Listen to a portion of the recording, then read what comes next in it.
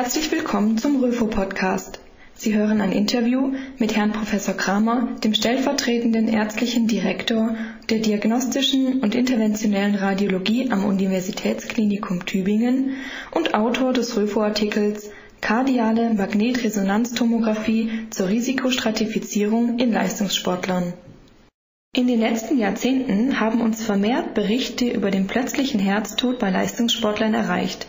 Nicht zuletzt sind solche Nachrichten für uns immer wieder schockierend, da Athleten gerade für Vitalität, Gesundheit und Stärke stehen und man einen Herztod bei diesen Menschen einfach nicht erwartet.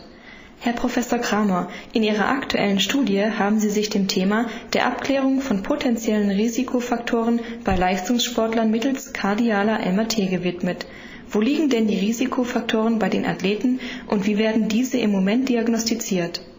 Zu den häufigsten Ursachen des plötzlichen Herztodes bei jungen Patienten oder eben auch bei Leistungssportlern gehören unter anderem die hypertrophe Kardiomyopathie oder Manifestationen einer Myokarditis. Die Differenzierung einer hypertrophen Kardiomyopathie gegenüber einem Sportlerherz ist momentan auf Basis der Echokardiographie oder der EKG-Untersuchung nur eingeschränkt möglich.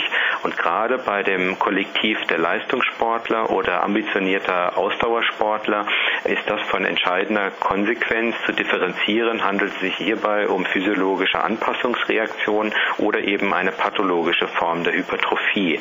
Und unter diesem Aspekt bildet oder bietet die MRT die Möglichkeit, hier morphologische und funktionelle Prozesse sauber zu differenzieren, da insbesondere eine hypertrophe Kardiomyopathie als ein Krankheitsbild natürlich ernst genommen werden muss und nur auf Basis der echokardiografischen Ergebnisse nicht zuverlässig gegenüber einem Sportlerherz differenziert werden kann.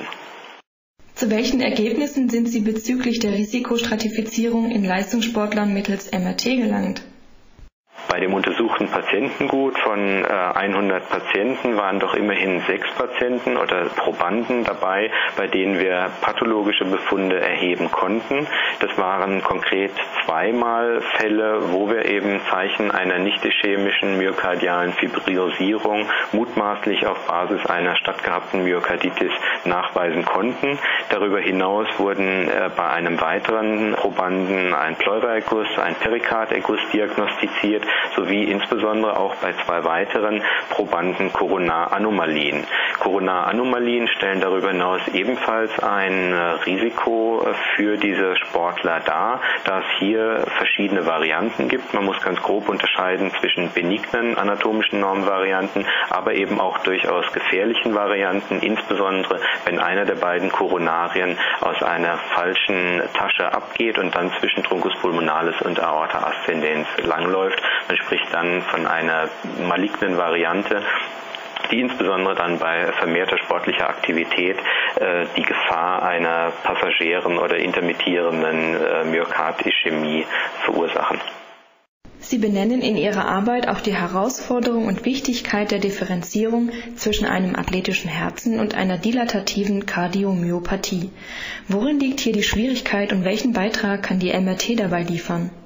Man kennt das sogenannte Sportlerherz oder athletische Herz. Das heißt, man weiß aus großen echokardiografischen Studien, dass eine vermehrte körperliche Aktivität zu funktionellen und morphologischen Adaptationsprozessen führt. Das bedeutet, der Herzmuskel hypertrophiert unter der ähm, ständigen Belastung. Allerdings gibt es hier einen Graubereich, wo es schwierig werden kann, diesen gegenüber pathologischen Befunden abzugrenzen.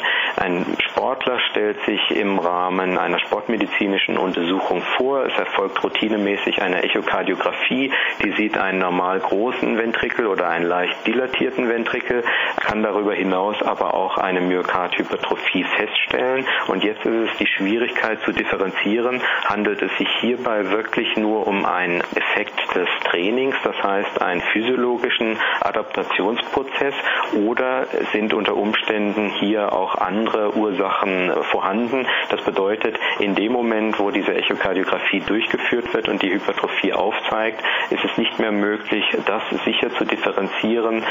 Physiologische Adaptation, das wäre ein reversibler Prozess, das heißt mit Abnahme oder mit Aussetzen des Trainings kommt es im Bereich von Monaten auch zu einer gewissen Rückbildung gegenüber der Differenzierung pathologischer Befunde, die dann natürlich unabhängig von der sportlichen Aktivität persistieren würden.